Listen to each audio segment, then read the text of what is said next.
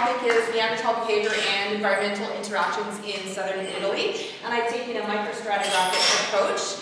Um, I apologize, if I was going after Peter, so it's going to refer to Peter's slide, so we'll just go a little bit um, out of order.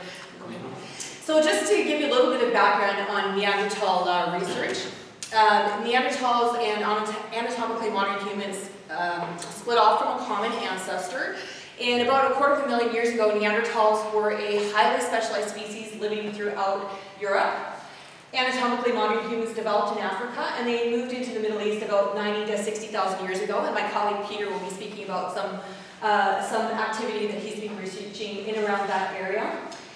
About 45,000 years ago, anatomically modern humans began to move into Europe, and somewhere between 5 and 15,000 years ago, 5 and 15,000 years after that, Neanderthals suddenly disappeared from Europe. So the last holdouts were in uh, small areas of refugia. The last ones to become extinct were in Gibraltar, and that happened around 30,000 years ago. So what happened to the Neanderthals? There are three basic theories. Neanderthals evolved into modern humans.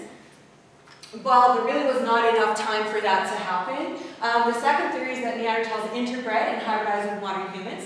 Well, that was really on a very small scale and likely didn't happen in Europe. Um, as I'm sure you've all heard about DNA, uh, we, most of us have a little bit of Neanderthal DNA in us, um, but uh, that really didn't happen on a large scale. So the third theory is that Neanderthals were outcompeted by humans, and uh, humans had some type of uh, behavioral or physical advantage over Neanderthals. So what we're looking at is uh, in our excavation site in Oscurusciuto uh, in Italy is some fire or combustion features. So what we're looking at is a possibility of different fire use between anatomically modern humans and Neanderthals and seeing if that was possibly one of the differences that, um, that led to modern humans being more successful. So why is hominid use of fire important? Well, cooking food allows more nutrition from the same food. So if you're going out and uh, collecting food, hunting, or gathering, uh, if you can get more nutrition from the same amount of energy expended, that's a definite advantage. Fires are also associated with complex social behavior. So ethnographically, we know that sitting around the fire allows social bonding. I'm sure we've all done this, where you have a, um, a campfire, you have a, a, pit that's dug, it's lined nicely with stones, people sit around, chit-chat, share stories.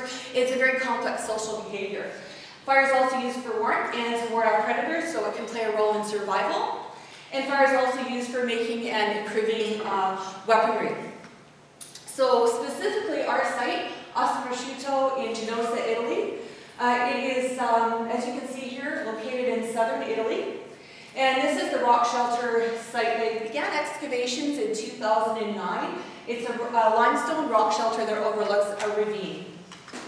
And this is the profile of the excavation. You can see at the bottom there's a tephra layer. Um, the tephra, or volcanic ash, was dated to 55,000 years ago. And right at the top, we have a, the top of the excavation was dated to 43,000 years ago on bird bone. So our samples come from layer 11, so it's very close to the 55,000 year age. So when the excavators were excavating this layer, they noticed uh, some, what they believed were hearth features. Oh, sorry, too fast. Okay. Um, and uh, they noticed that there were these roughly circular areas that had some white, which they believed was ash, and some dark areas, which they believed were burnt sediments. And when they were excavating, they felt there was a difference between the sediment in the hearth feature and the surrounding sediment. And they, so they believed that this was a dug pit, and uh, they asked us to research this. So our research questions, are these features actually hearths? If so, are they intact?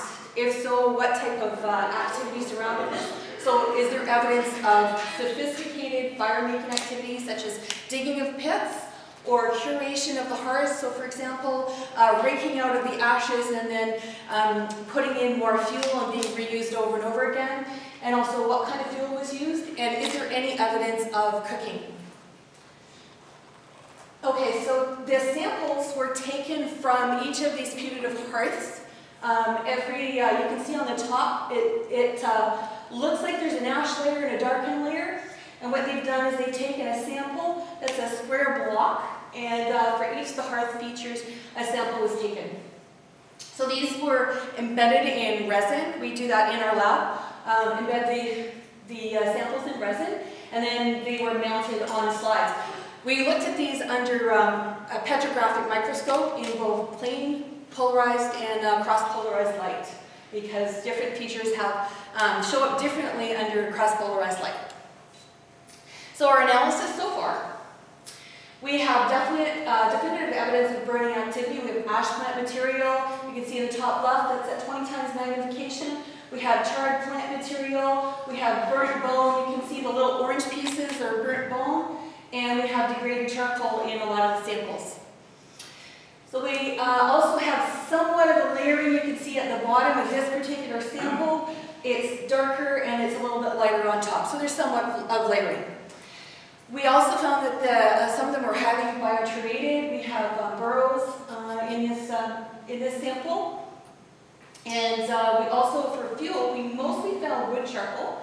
Um, there is very little evidence of grasses. I apologize, I missed this slide. We're looking for phytoliths, which are silica deposits in plants. They, um, they, the silica deposits in the cells of the plants, and when they burn, uh, you can find these little silica and the, specific shape of them can tell you what type of plant they came from. We haven't really found a, a lot of them, we're still looking for them. We also found that the bones are burned.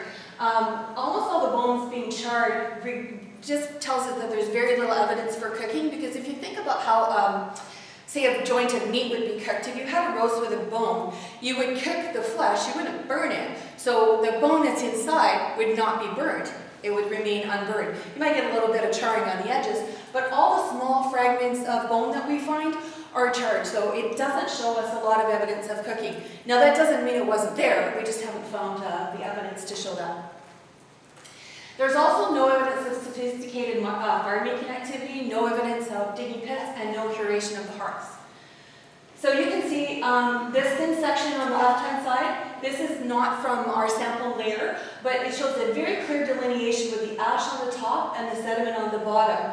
And uh, if you could just hit the next one. Oops, it didn't work. Okay. Uh, the lines didn't show up, but on the top is ash, and on the bottom is the sediment, and you can see the clear line. And then under the cross-polarized light, on the bottom, all the white dots are grains of sand. So you can clearly see that it's a different type of sediment. There's a very distinct line. And this is what you'd see if there was a pit. So this is what we see in our sample. There's no distinct borders, so no borders, no evidence of pit. It means that there probably was not any hearth preparation. This is at 10 times magnification, so even at a higher magnification, you can see that it's very mixed.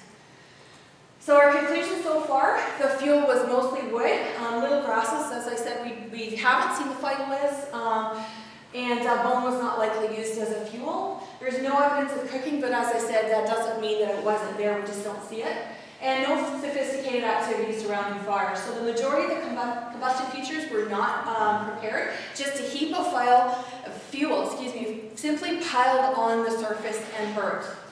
So they were not used over a long period of time, they weren't raked out, you can clearly see that, uh, if, if that occurs, you can clearly see that in the slides.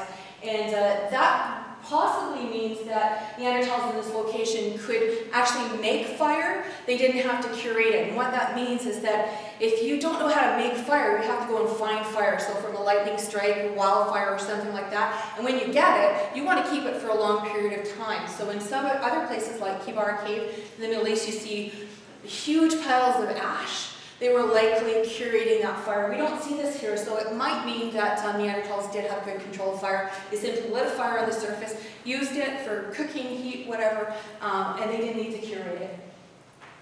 So the importance of this research, just to sum up, microstratigraphic analysis of the hearth has been able to provide evidence at a scale that's not possible when they're excavating.